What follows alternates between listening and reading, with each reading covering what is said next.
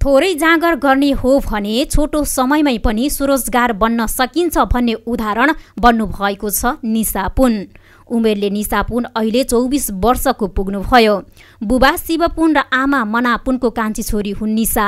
माध्यमिक शिक्षा परीक्षा एसएलसी दिएपछि नतिजाको पर्खाइमा रहँदाको खाली समयको सदुपयोग गर्दै हस्तकला सम्बन्धी सिप सिकेपछि निसाको दैनिकी फेरिएको हो।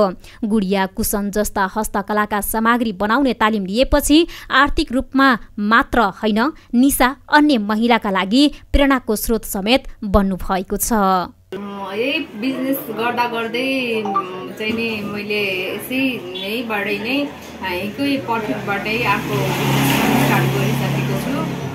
जस राम्रो भएको छ आफ्नो लागि पनि होइन।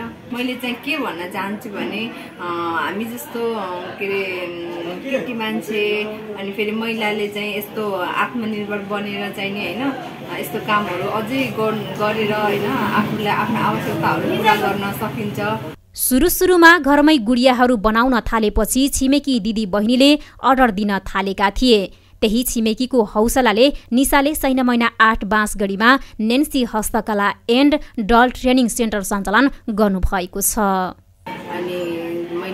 बनाएको सामानहरू बुटोल अनि बुटोल लगायत अन्य ठाउँहरूमा गिफ्ट हाउसहरूमा के अरे सामानहरू बिक्री वितरणको लागि होलसेलमा थोक तथा होलसेलमा पनि हामीले यहाँबाट दिन्छौँ। यसबाट राम्रो चाहिने राम्रो इन्कम हुन्छ। है राम्रो प्रफिट मुनाफा चाहिँ यहाँबाट मैले निकालेको छु।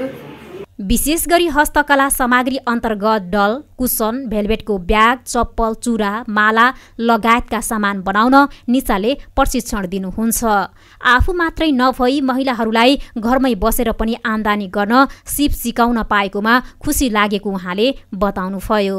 म चाहिँ प्रशिक्षकको रूपमा बाहिर अन्त ठाउँहरूमा पनि होइन धेरै अपर्च्युनिटी आएको बेलामा नगरपालिका गाउँपालिकाबाट आएको बेलामा पनि म एज अ प्रशिक्षकको रूपमा यसको ट्रेनिङहरू दिन पनि जान्छु होइन हस्तकला सम्बन्धी ट्रेनिङहरू पनि दिन जान्छु। थोरै लगानीमा पनि राम्रो आमदानी गर्न सक्ने व्यवसाय भएकाले महिलाहरूले घरको काम सकेर फुर्सदको समयमा पनि कुसन डल लगायतका सामग्री बनाउन सक्छन्।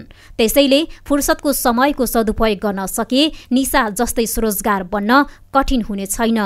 राज्य खबरका लागि अनिता चौधरी रूपन्देही।